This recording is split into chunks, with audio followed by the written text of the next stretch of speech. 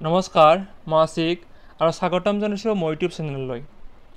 আজি আমি পৰিৱেশৰ আমাৰ চৌপাশে থকা উদ্ভিদ আৰু প্ৰাণী পৰিস্থিতিতন্ত্ৰ তাৰ ভিতৰত থাকে পুখুৰী পৰিস্থিতিতন্ত্ৰ তৃণভূমি পৰিস্থিতিতন্ত্ৰ প্ৰাথমিক উপভোক্তা গৌণ বা দ্বিতীয় পৰ্যায়ৰ উপভোক্তা তৃতীয় পৰ্যায়ৰ উপভোক্তা এইবিলাকৰ বিষয়ে আলোচনা কৰিম।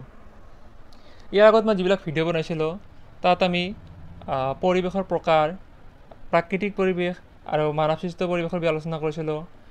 প্ৰাকৃতিক পৰিৱেশৰ যিবিলাক উপাদান আছিল জৈৱিক উপাদান অজৈৱিক উপাদান সেইবিলাকৰ বিষয়ে আলোচনা কৰিছিলোঁ। তাৰোপৰি মই বায়ু পানী মাটি সেইবিলাকৰ বিষয়ে আলোচনা কৰিছিলোঁ। বায়ু পানী বায়ু প্ৰদূষণ পানী প্ৰদূষণ মাটি প্ৰদূষণৰ বিষয়ে আলোচনা কৰিছিলোঁ। তাক কেনেকৈ সংৰক্ষণ কৰিব সেইবিলাকৰ আলোচনা কৰিছিলোঁ। তাৰ উপৰিও মই এটা এম চি কিউ ভিডিঅ' বনাইছিলোঁ। ট'টেল মই বছৰ ছয়টা ভিডিঅ' দিছিলোঁ আৰু তাৰ লিংক মই ডিছক্ৰিপশ্যনত দি দিম আৰু মোৰ কমেণ্ট ছেকশ্যনতো দি দিম। আপোনালোকে যাই প্লিজ সেই ভিডিঅ'বিলাক চাই ল'ব। তো আজি আৰম্ভ কৰিছোঁ। ইয়াৰ আজিৰ ভিডিঅ'টো তো আজি প্ৰথম প্ৰথম চাই ল'ম উপভোক্তা। তো আমি যেতিয়া ই বি এছৰ ছেকেণ্ড ভিডিঅ'টো বনাইছিলোঁ য'ত আমি পঢ়িছিলোঁ যে বায়'টিক এণ্ড এবায়'টিক কম্পনেণ্ট অৰ্থাৎ জৈৱিক আৰু অজৈৱিক উপাদান। তো জৈৱিক উপাদানত আমি তিনিটা বস্তু পাইছিলোঁ এটা আছিল উপভোক্তা এটা আছিল উৎপাদক এটা আছিল বিযোজক। উৎপাদকে কি কৰে? যি উৎপাদকে বস্তুবিলাক তৈয়াৰ কৰে আহাৰবিলাক তৈয়াৰ কৰে সেইবিলাক কি সেউজীয়া উদ্ভিদবিলাক বা কিছুমান বেক্টেৰিয়া। উৎপাদক কি? উপভোক্তা কি? যিয়ে সেইবিলাক উপভোগ কৰে অৰ্থাৎ সেইবিলাক খায়। বিযোজক কি? যিয়ে উদ্ভিদ আৰু প্ৰাণীৰ মৃতদেহবিলাকক পচাত সহায় কৰে। এতিয়া উপভোক্তা যেন পাইছিলোঁ আমি যিবিলাকে উপভোগ কৰে উদ্ভিদে বনোৱা খাদ্যবিলাক। তো উপভোক্তাৰ কিছুমান প্ৰকাৰ আছে তাৰ বিষয়ে আলোচনা কৰিছোঁ। উপভোক্তাৰ প্ৰকাৰ হৈছে যে তৃণভোজী প্ৰাণী বা প্ৰাথমিক উপভোক্তা। তৃণভোজী প্ৰাণী বা প্ৰাথমিক উপভোক্তা কি? এই শ্ৰেণীৰ উপভোক্তাসমূহে উদ্ভিদৰ পৰা প্ৰত্যক্ষভাৱে বা উদ্ভিদৰ পেলনীয়া অংশ খায়। যেনে গৰু ছাগলী হৰিণা হাতী শহা আদি। তো চাওক গৰু ছাগলী হওক হৰিণ হাতী শহা আদি কি কৰে? এই উদ্ভিদৰ পাত খায় বা উদ্ভিদৰ কাণ্ড চাণ্ড যি পায় খায়। অৰ্থাৎ কি কৰে? এইবিলাকে উদ্ভিদৰ পৰা ডাইৰেক্ট খাদ্য গ্ৰহণ কৰে। সেইকাৰণে এইবিলাক কি? তৃণভোজী প্ৰাণী নাইবা প্ৰাথমিক উপভোক্তা। গৌণ বা দ্বিতীয় পৰ্যায়ৰ উপভোক্তা।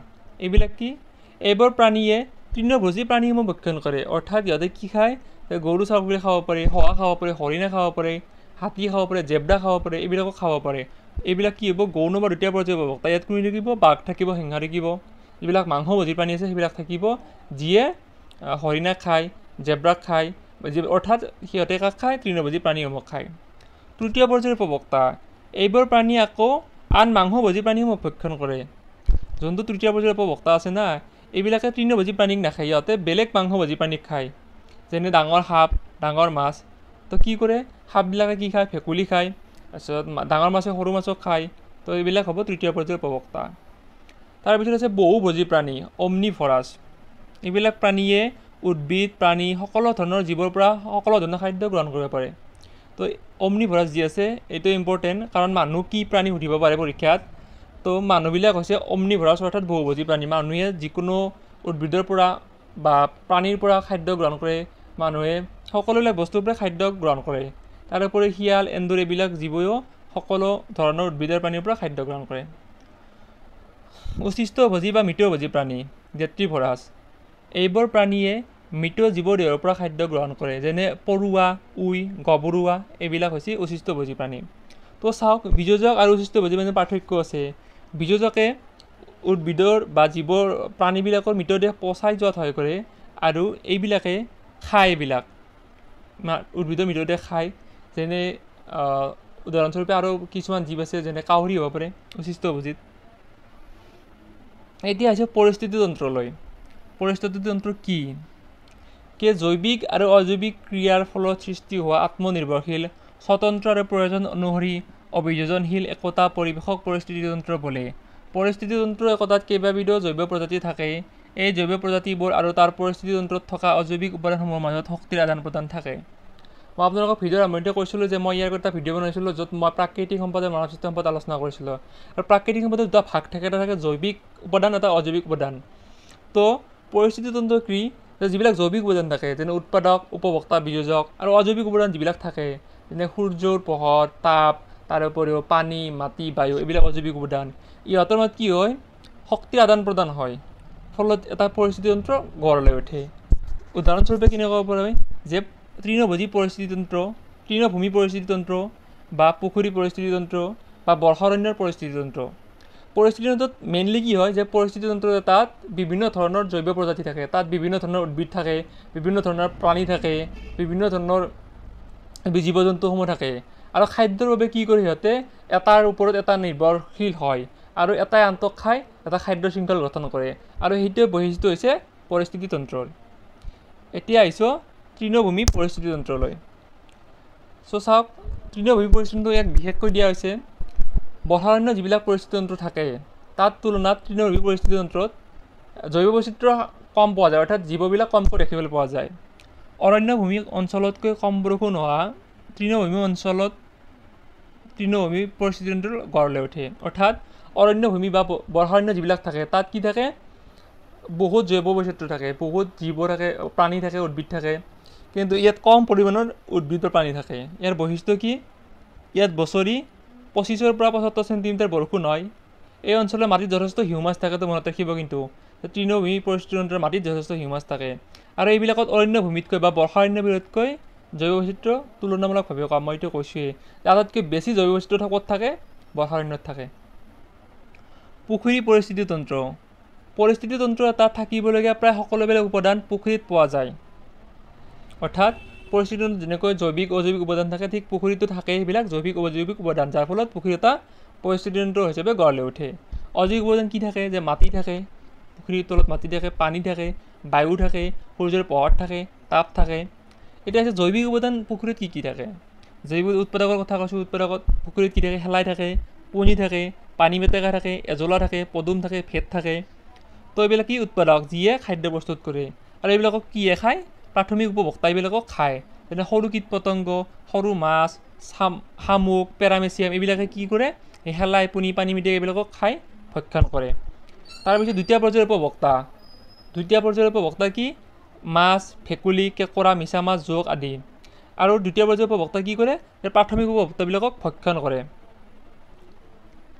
তৃতীয় পৰ্যায়ৰ উপভোক্তা ডাঙৰ মাছ সাপ বৰটকলা হাঁহ মাছ কাছ ইত্যাদি। আৰু তৃতীয় পৰ্যায়ৰ উপভোক্তা কি কৰে?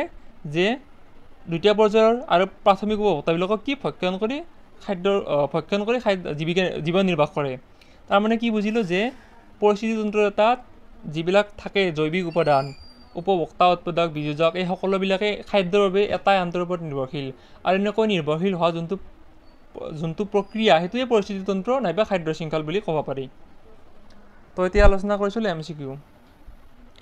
পৰুৱাবোৰ কি? পৰুৱাবোৰ কি? পৰপহী মৃতভোজী বা অশিষ্টভোজী তৃণভোজী বা মাংসভোজী? পৰুৱাবোৰ কি? পৰুৱাবোৰে যিবোৰ মৃতৰে ভক্ষণ কৰে সেইকাৰণে পৰুৱাবোৰ হৈছে মৃতভোজী বা অশিষ্টভোজী। পৰিস্থিতিতন্ত্ৰৰ নামটো কোনে দিছিল? লিৱেন হুক আৰ্নছ থেকেল আৰু টান্সলি তো পৰিস্থিতিতন্ত্ৰৰ নামটো দিছিল আৰ্নছ থেকেল এইটো ইম্পৰ্টেণ্ট কুৱেশ্যন মনত ৰাখিব। উদ্ভিদ আৰু প্ৰাণীৰ মাজত থকা সম্পৰ্কৰ কাৰণ হ'ল খাদ্য পৰিস্থিতিতন্ত্ৰ আশ্ৰয় সহ অৱস্থান তো উদ্ভিদ আৰু প্ৰাণীৰ মাজত থকা সম্পৰ্ক এটা মুখ্য কাৰণ হৈছে খাদ্য। মই কৈছোঁৱে যে খাদ্যৰ বাবে সকলো জীৱ উদ্ভিদৰ ওপৰত নিৰ্ভৰশীল। সেইকাৰণে উদ্ভিদ আৰু প্ৰাণীৰ মাজত থকা আটাইতকৈ সম্পৰ্কৰ মুখ্য কাৰণ হৈছে খাদ্য। মহা জৈৱ বৈচিত্ৰৰ ভিতৰত দেশৰ ভিতৰত ভাৰতৰ স্থান কিমান? মই কৈছোঁ জৈৱ বৈচিত্ৰ কি যে আটাইতকৈ বেছিকৈ জীৱৰ প্ৰজাতি উদ্ভিদৰ প্ৰজাতি প্ৰাণীৰ প্ৰজাতি য'ত পোৱা যায় তাক জৈৱ বৈচিত্ৰ বুলি কয় আৰু বৰ্ষাৰণ্যত বেছিকৈ পোৱা যায়। আৰু ভাৰততো জৈৱ বৰ্ষাৰণ্য বহুত বেছি আছে আন্দামান নিকোবাৰ দ্বীপপুঞ্জতো আছে ভাৰতৰ বিভিন্ন অঞ্চলত বৰ্ষাৰণ্য আছে। তো প্ৰশ্নটো কি কৈছে যে মহা জৈৱ বৈচিত্ৰ দেশৰ ভিতৰত ভাৰতৰ স্থান কিমান? দশম দ্বাদশ নৱম অষ্টম। এইটো হ'ব দশম। তৃণভোজী প্ৰাণীক ভক্ষণ কৰি জীয়াই থকা ভেকুলীবোৰক কি বোলে? তৃণভোজী প্ৰাণীক ভক্ষণ কৰি জীয়াই থকা ভেকুলীবোৰক কি বোলে? প্ৰাথমিক উপভোক্তা বোলে গৌণ বা দ্বিতীয় পৰ্যায়ৰ উপভোক্তা তৃতীয় পৰ্যায়ৰ উপভোক্তা বোলে। তো চাওক তৃণভোজী প্ৰাণী যিবিলাক থাকে ধৰি হ'ল যিবিলাক সৰু সৰু কীট পতংগই সেউজীয়া উদ্ভিদবিলাকৰ পৰা খাদ্য গ্ৰহণ কৰে। সেইবিলাক হ'ব প্ৰাথমিক উপভোক্তা। আৰু সেইবিলাকক কি খাব? ভেকুলী খাব। সেইকাৰণে ভেকুলী কি হ'ব? গৌণ বা দ্বিতীয় পৰ্যায়ৰ উপভোক্তা। তলত কোনটো অঞ্চলত জৈৱ বৈচিত্ৰ সৰ্বাধিক। বৰ্ষাৰণ্য তৃণভূমি মৰুভূমি। মই কৈছোঁ এইটো। আটাইতকৈ বেছি জৈৱ বৈচিত্ৰ থাকে বৰ্ষাৰণ্য অঞ্চলত। পৰিস্থিতিতন্ত্ৰ এটাত শক্তি কাৰ যোগেদি প্ৰবাহিত হয়। পৰিস্থিতিতন্ত্ৰ এটা শক্তি কাৰ যোগেদি প্ৰবাহিত হয় উৎপাদক উপভোক্তা বিযোজক তো শক্তি যিবিলাক আমি পাওঁ বা শক্তি পৰিস্থিতিতন্ত্ৰত যিবিলাক থাকে উৎপাদক বিযোজক উপভোক্তা এইবিলাকে যেনেকৈ খাদ্য শক্তি পায় ক'ৰ পৰা পায়? চবতকৈ বেছি উৎপাদকৰ পৰা পায়। তো উৎপাদক হ'ব। খাদ্য শৃংখল এটা সৰ্বাধিক শক্তি ক'ত জমা হৈ থাকে?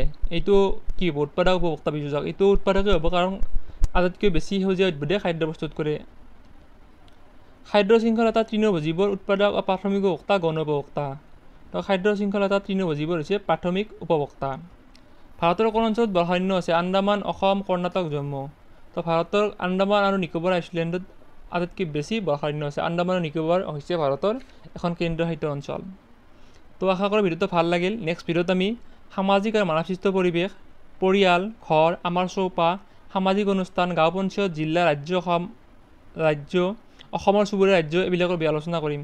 ধন্যবাদ।